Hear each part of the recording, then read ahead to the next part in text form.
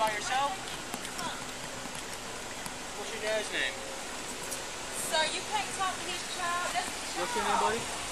Hey. Go Around. Huh? Around. around? Yo. He's running around back. That's it. He's coming to you. White tank top. Get on the ground! Get on the ground! Get on the ground, now! Keep your hands out! I swear to God, I do shit. I got you covered. I got you covered.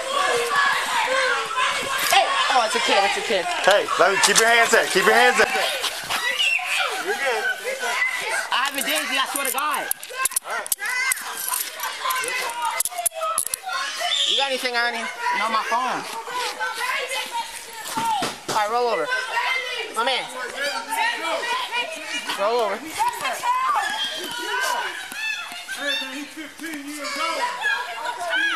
All right. You're, you're good, man. You're good. And he did shit, right? Okay, well, why you running from him? Nah, cuz, no, we was all playing tag.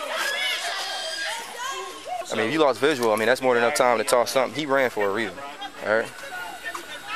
We had two little Yeah. kids with him. Are you mom? What y'all doing to my son? All right. Um, so Where, where's my son? he's over there. Let me tell you. All right. Y'all, for one, y'all got to stop. Cause that- that's a kid. Are you gonna let me explain to you what That's- happened? You can explain what happened. All right. I I'm don't gonna I'm gonna I'm putting your hands on gonna my kid. I'm gonna stand right here and tell you.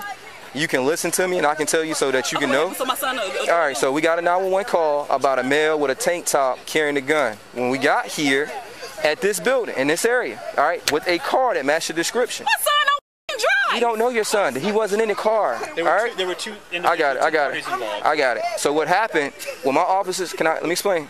Let me explain. Go in house. When my officers got on scene, right, and they got right here, he took off running, right? Cause So he's a kid.